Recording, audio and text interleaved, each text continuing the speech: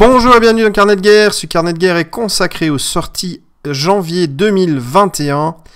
On commence l'année de bonne humeur avec un tas de sorties très intéressantes. C'est parti. Galanterie oblige, on va commencer par Matari. Regardez-moi ce petit minois trop mignon, ses cheveux dans le vent, euh, cette posture dynamique et ce décolleté plongeant. Mon dieu, Mae a, du, euh, a de la concurrence très très clairement. Euh, figurine sculptée et peinte par Emmanuel Pontier. Bravo GG. Euh, c'est une figurine que je trouve très très jolie. Euh, elle va vraiment donner super bien sur les tables de jeu. petit peut-être bémol au niveau du javelot. puisque ça risque d'être un peu embêtant pour les transporter, mais je suis sûr que les joueurs trouveront moyen de sécuriser cette pièce absolument magnifique. Et qu'avons-nous eh bien, pour, euh, pour cette superbe figurine, un profil à 50 pièces d'or, limitation 3, constitution 3, dextérité 5, force 3, mental, étoile, 5 de mouvement, 8 PA, 22 points de vie, elle a un nat euh, attendez. Atlatl, atlatl, Bref, 3 projectiles, 8 moins distance dégâts, une main, arme de lancer, plus force dégâts en cas de réussite critique. Elle a une botte de tir, 5 PA liée à l'arme. Les dégâts ne sont pas minorés par la distance et le lancer se fait à 2D. La botte de, une deuxième botte de tir, bellement, 2 PA, portée 2. L'adversaire aura un malus de 2 à ses défenses jusqu'à sa prochaine activation. Elle a bon, ignore les hauteurs au-dessous de 3 brasses et comme là, pour euh, la petite étoile. Alors pour 50 pièces d'or, on a un profil qui est à mon sens extrêmement bon. 8 euh, PA, 22 PV, ça veut dire qu'elle tient quand même bien. Elle n'a pas d'arme de corps à corps, mais par contre, elle peut donner des coups de boule, des coups de pied, des coups de poing comme n'importe quel autre briscard, et il ne faut pas l'oublier. 5 de mouvement, ça lui donne une grande mobilité qui va être très importante pour elle. Euh, son atla, atlal, atlatla, atlat, c'est compliqué à dire quand même. Hein. Euh, vous avez la possibilité d'acheter des javelines supplémentaires dans le livre de règles. Du coup, n'hésitez pas à en acheter. Euh, vous pouvez évidemment euh, acheter des javelines empoisonnées ou des javelines perce-armure. Ça va vous coûter un certain nombre de pièces, mais en attendant, vous allez avoir la possibilité de, euh, de, la, de la stuffer en fait, comme, comme vous le désirez. Je pense qu'avoir une ou deux javelines dans le side, si vous faites par exemple des tournois ou une journée avec une seule liste mais un side complet, ça va être très très pratique pour vous permettre de, jongler entre ce qu'il y, a, face à vous et euh, ce dont vous avez besoin. La javeline, également une arme intéressante, puisqu'elle fait plus force dégâts au cas de réussite critique, ce qui est quand même passablement intéressant, on va pas se mentir. Et puis euh, le 8 moins distance dégâts, ça peut être majoré, vous pouvez faire une attaque à, à, une distance de 1, avec ses 5 de mouvement, elle pourra après refaire un mouvement et partir. Bref, ça va vraiment être très intéressant. La botte de tir qui se fait, euh, qui est lié à l'arme. Euh, à mon sens, le seul vrai bonus de cette botte, c'est que vous allez, euh, que la distance ne va pas, ne va pas influencer sur les dégâts. Concrètement, vous avez le 2 PA pour tirer avec votre projectile, plus le dé supplémentaire pour 5 PA, et puis il y a juste les dégâts qui ne changent pas. Donc c'est une botte qui est intéressante, mais qui n'est pas Enfin, on va, on va la prendre, il hein, n'y a, pas, y a pas problème. La botte de tir, par contre, de Bellement, à mon avis, est un plus extrêmement puissant. Les défenses de l'adversaire qui diminuent de 2 jusqu'à sa prochaine activation. Si l'adversaire n'a pas déjà joué cette figurine, ça va l'inviter à la jouer. Donc vous pouvez essayer de faire un peu de forcing pour que vous euh, récupériez la... Enfin pour qu'il puisse y jouer en fait. Et euh, s'il a déjà joué, eh ben, vous pouvez le focus. Et puis avec les gros tassons qu'on a chez les Selk, ça va donner... Euh, ça va fiabiliser l'attaque. surtout si vous attaquez des figurines qui sont quand même imposantes comme des colosses avec des constitutions euh, de 8 ou 9, etc.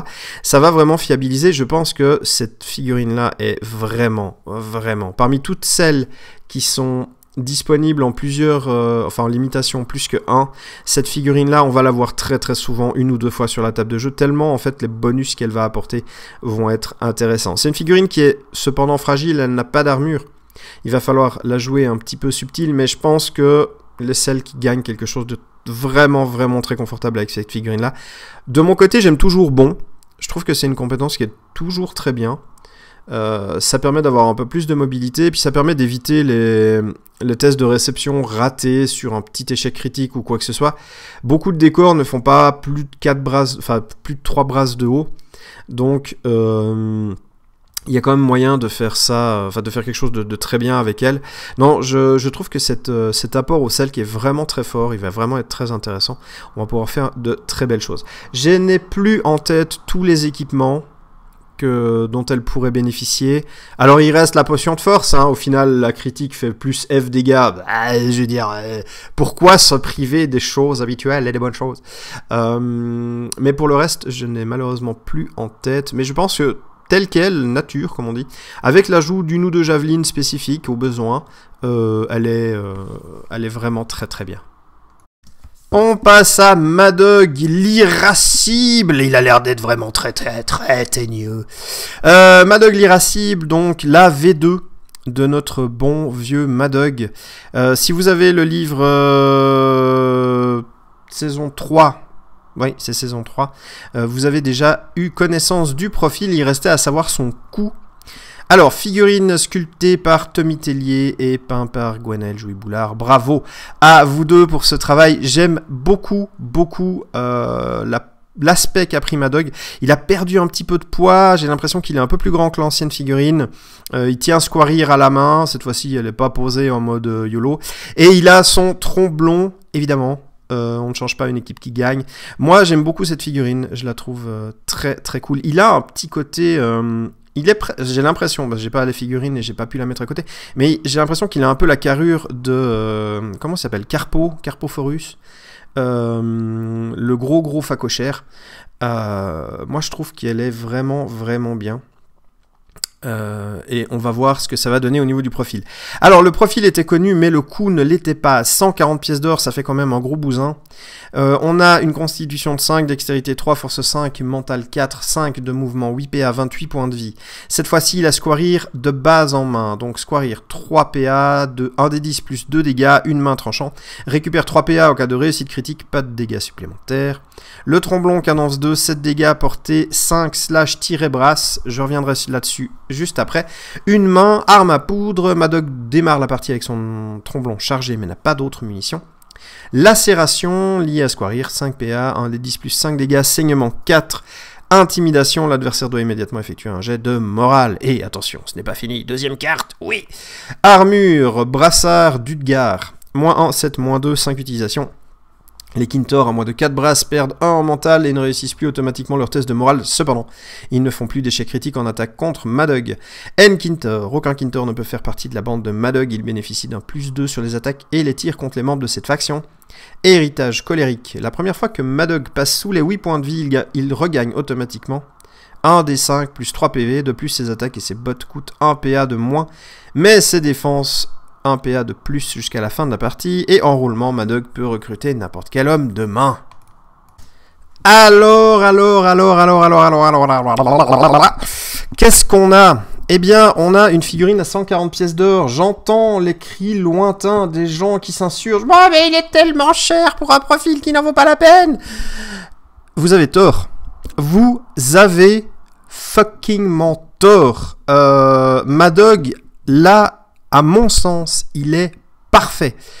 Alors, il y a une petite subtilité, enfin il y a deux petites subtilités. Premièrement, et euh, il va y avoir une, euh, une, une, nouvelle carte pour la carte Obéi de Madog, le, le premier du nom. C'est-à-dire que vous pouvez lui donner cet ordre-là. Donc, il a toujours accès à la carte Obéi. Ces informations proviennent directement euh, de TGCM euh, et du coup ça lui donne encore cette espèce d'aura d'autorité et surtout un, aspect extrêmement pratique supplémentaire. Oui, ça va le faire passer à 156 pièces d'or, euh, mais en attendant ça va quand même lui donner un boost. La carte obéit, je ne vais pas revenir dessus, il y a eu un Tactica qui a été fait dessus, c'est une carte que je trouve personnellement vraiment très très intéressante. Au niveau de la faction, c'est très utile. Je rappelle que les Birgus normaux peuvent ceinturer pour 0 PA, donc vous n'êtes même pas obligé de donner des PA à quelqu'un pour que ça fonctionne. Bref, petite subtilité. Pourquoi est-ce que je trouve que ce Madogla est parfait? Parce que ce Madogla gagne Squarir de base, euh, qui, coûte quand même 18 pièces pour le Madog premier du nom, mais surtout avec son profil actuel, on sait à quoi s'en tenir. L'ancienne Squarir, euh, pour moi, me donnait envie d'aller taper au corps à corps. Seulement, Madog V1, ben, il était un petit peu en mousse. Le Madog V2, il est toujours en mousse. Squarir fait moins de dégâts, on va prendre plus de précautions. Il a une armure qui lui permet d'encaisser un petit peu, mais c'est clairement pas le truc le plus ouf. Euh, il faut bien comprendre que le but de Madog n'est pas d'aller maraver la tronche en face. Ce n'est pas non plus le but d'aller euh, tanker. Vous avez assez de figurines qui sont capables de tanker chez les bannis pour qu'il n'ait pas besoin, lui, de tanker. Madog, c'est un petit peu le, je dirais, un finisseur. Euh, ou un glass cannon si vous préférez. Euh, c'est-à-dire qu'il est fragile, il va faire pas mal de dégâts, un des 10 plus 2 ou alors euh, carrément un des 10 plus 5 et saignement 4. C'est clairement pas négligeable. D'autant plus que si vous faites une réussite critique sur, son, sur son attaque, il récupère les 3 PA de son attaque, donc il peut remettre une baffe derrière. Oui, c'est une réussite critique, mais on sait que les réussites critiques sont euh, boostable ou améliorable avec des actions comme, euh, comme la charge, euh, entre autres, qui augmente de 1. Donc il y a moyen d'essayer de fiabiliser un petit peu ça, et si ça passe, évidemment, ça fait des dégâts. on a également un spécialiste anti-Kinter. Alors, ça j'aime bien parce que c'est fluff. les actions sont particulièrement... Enfin, se violent en plus 2 sur les attaques.